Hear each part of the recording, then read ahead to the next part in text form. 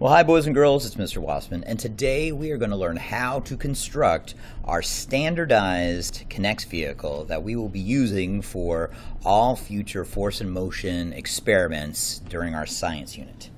As you can see, I have the uh, diagram that I provided to you out, along with a finished product of what your standardized vehicle should look like. So, uh, comparing it to the side view and the top view. Okay. Now I'm going to walk you through how to build that standardized vehicle from the ground up. So these are the pieces that you're going to need. You're going to need two of the tan connectors, three of the gray connectors, four of the red connectors. You need four of the yellow connectors, two blue rods, two red rods, two gray rods, two of the smaller wheels, two of the larger wheels, and two of the larger tires. Now I'm going to start with the gray rods and the yellow connectors. Okay, I'm going to add a yellow connector to each end of a gray rod, like so. These are going to form the basis of our, let's call it the chassis of our vehicle. Okay. Now I need the two red rods that are going to act as our axles. An axle is basically a rod that has tires on either end or however many tires are on the axle. Now I want you to pay attention to how I connect these red rods. If you look at the diagram from the top view, otherwise known as the bird's eye view, you're going to notice that the placement of the rods differs from front to back. Okay? On the front end of our of our vehicle, we're going to uh, affix the rod in the teeth on the very front of the yellow connector, like so okay? Both sides. But on the back, we're going to thread the red rod through the hole in the center of the yellow connector, okay? So as you can see, my front axle, my front rod is now fixed, but my back axle can spin freely. Now that's going to be important later on uh, when we conduct different kinds of experiments with this standardized vehicle. All right, so now the next step is going to be connecting the wheels to the axles. I'm going to start with the, uh, the large wheels, which I have to uh, put the, the rubber tires around. Interesting tidbit of uh, trivia. Uh, the uh, company that makes the most tires in the world is not what you would think Goodyear, Continental, Michelin. No, it's actually the Lego company uh, that produces the most uh, rubber tires in the world. Think about all the little Lego sets they make on all those little rubber tires.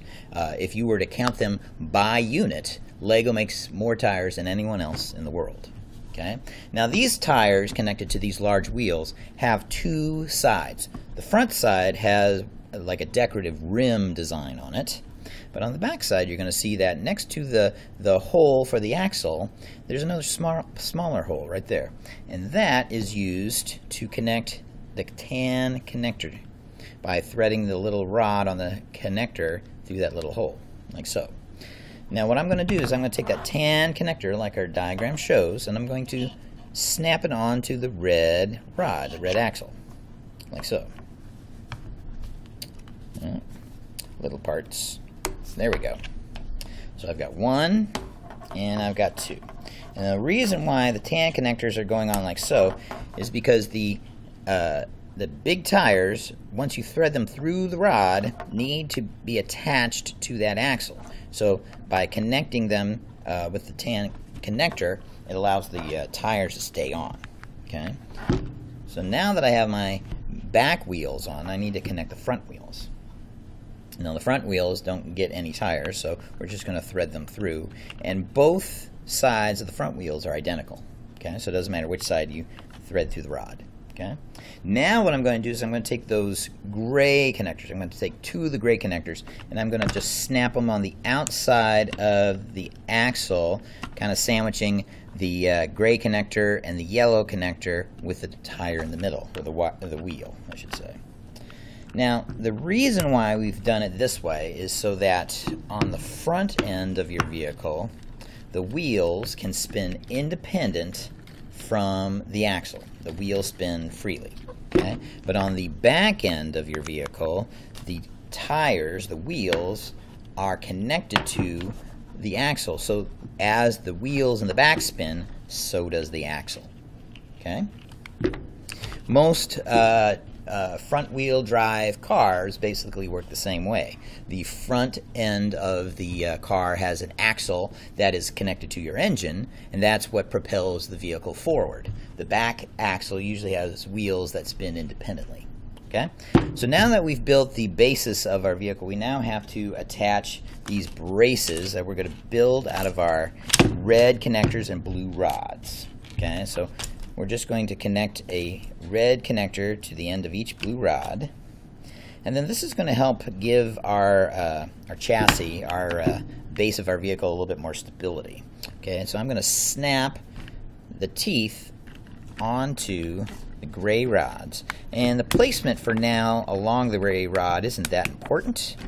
It just has to have two of them on the gray rods, two of these braces. Okay.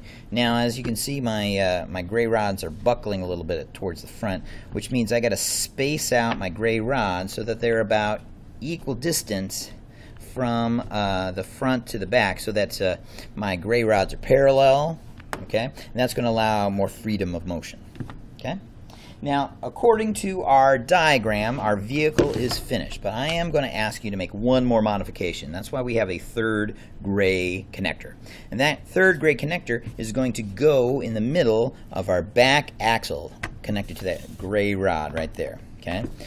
This is going to provide a peg for us to attach things to later on. Okay, so when we create uh, uh, different experiments, we're going to be using this vehicle in different ways, and this uh, little gray piece here is going to come in handy. Okay, and that, my friends, is my standardized vehicle. As you can see, it is identical to the one I showed you before, and that is the purpose.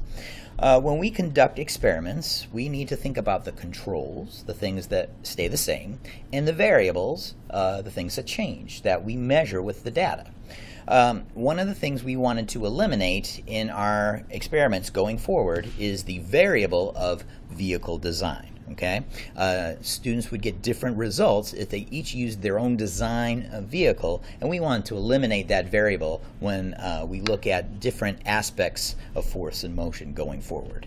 Okay, I hope this video was helpful. Uh, watch it uh, to your uh, to your uh, need in order to complete this vehicle, and good luck. Please let me know if you have any questions. Thanks.